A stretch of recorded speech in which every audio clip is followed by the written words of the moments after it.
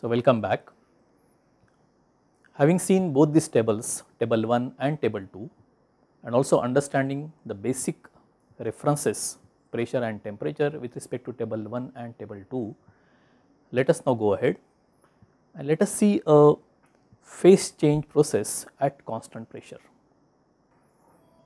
With this we will be able to see two phases in equilibrium liquid and vapor process in equilibrium.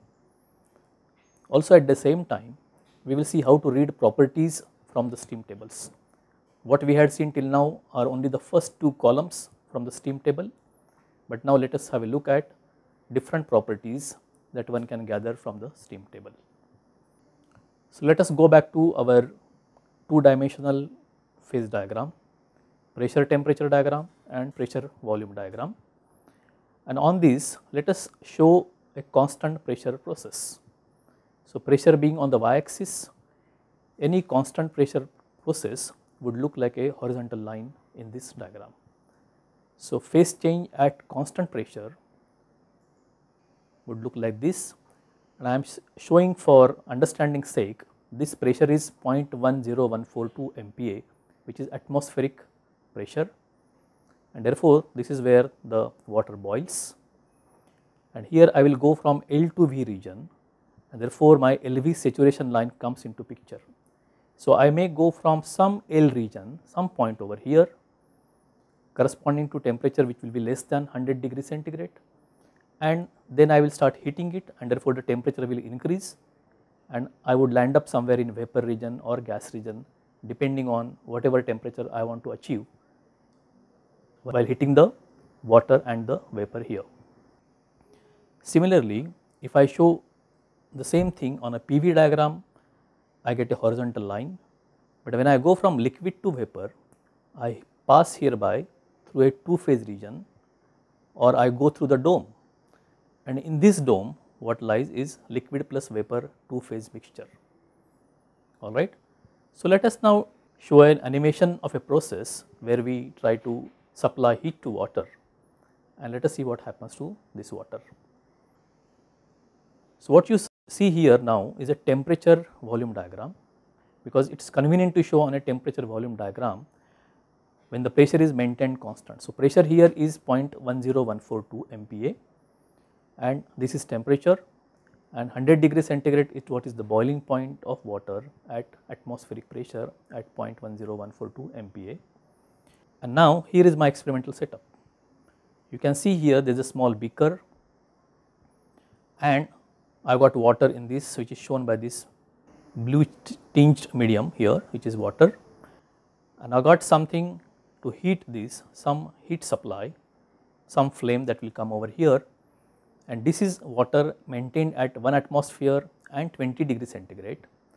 We know at this temperature and at this pressure the water is in liquid state and this is the temperature this is thermometer over here. Now what I want to do because I want to have this process at constant pressure I have maintained here something like a piston on this top and when I go on supplying heat to this liquid the pressure inside will increase but in order to maintain that pressure constant I will increase the volume over here. So when I increase the volume the pressure I will maintain the pressure as 1 atmosphere and thereby I will say this phase change is happening at constant pressure. Having such a piston on this water I will try to maintain this pressure equal to atmospheric pressure.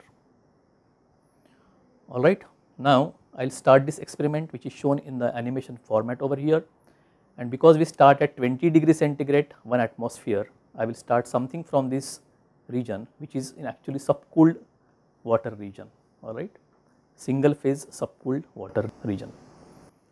So let us start this experiment and have a look at what happens on a VT diagram or TV diagram. At the same time look at what is happening on the right side where the experiment is being carried out. So you can see this is my point 1 which is the initial position and I have started heating this water. This is a flame that is coming over here and you can see this water right. Now you can see that it has reached point 2 and this is the phase change at constant temperature which is 100 degree centigrade. And you can see this piston is going up now in order to maintain the same pressure as 100 degree centigrade. Now at 0.4 there is a complete conversion of water to the vapor region. And I am going beyond that now and I am heating it up to let us say 300 degree centigrade. Alright and this is my final point which is at around 300 degree centigrade approximately shown in this diagram. So what I have done I have heated this water which was shown earlier in the blue color went from subcooled liquid went up to 100 degree centigrade which was heating of this water at constant pressure and then at point 2 the phase transformation started at 100 degree centigrade wherein I had liquid plus vapor region staying together they were in equilibrium and this 100 percent liquid at point 2 became 100 percent vapor at point 4. During this phase change process from 2, 3, 4 the temperature remained constant. Of course the pressure is always maintained constant here. And at point 4 suddenly temperature started increasing from 100 degree centigrade up to 300 degree centigrade which is the point at 5 and this is what is a process would look like when I heat water heating is done at constant pressure alright. So this is what a phase change at constant pressure would look like as shown in this figure and in this experiment. Now I am showing here isothermal and isobaric lines.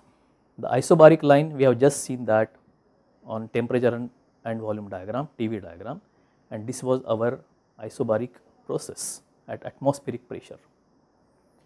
Same process is shown here on a PV diagram which comes as a horizontal line is not it because the pressure is maintained constant. It goes from a single phase region to two phase region and then goes up to in a single phase region again. You can see one more constant pressure now if I increase the pressure from let us say 1 atmosphere to 10 atmosphere correspondingly again I can see atmospheric pressures being increased to some higher point the boiling point will correspondingly change and this is how the constant pressure lines would look on a TV diagram. What you see here also are the constant temperature lines. So isothermal lines would look on a PV diagram like this. You can see temperature remains constant and these lines go like this. Alright, so this is how the isothermal line would be seen on the PV diagram and isobaric lines I have shown on a TV diagram. Thank you very much.